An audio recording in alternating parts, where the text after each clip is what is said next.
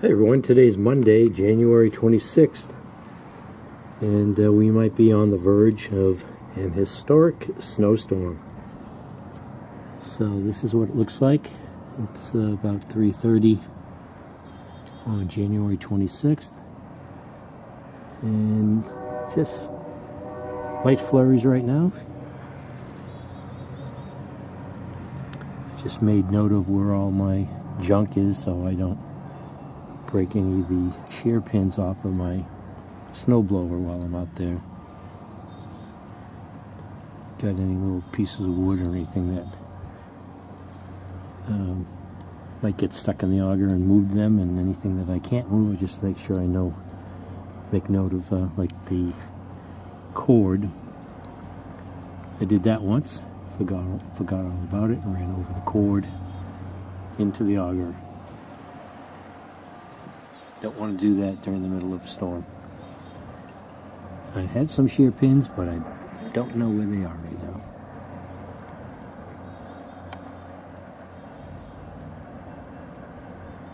So we'll see what this looks like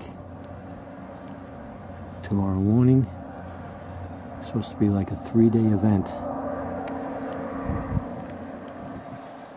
Stay tuned. Good morning, everyone. It's Tuesday, January 27th. It's 7:42, and this is what's over Massachusetts. And looks like that dark band is almost sitting over maybe Worcester as it cuts through from south to north Massachusetts up toward the New Hampshire border. That's just sitting there, so they're getting dumped on. Let's go take a look outside. And this is what it looks like.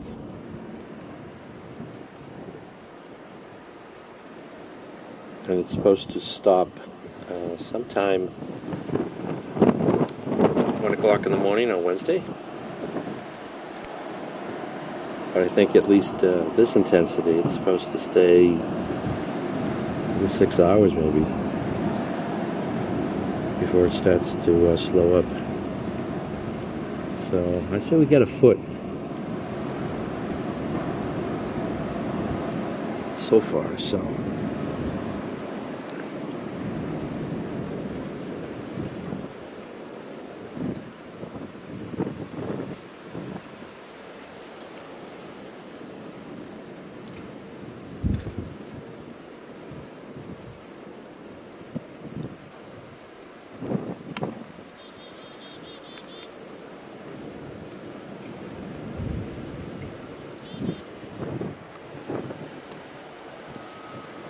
Too many birds out, chickadees out there,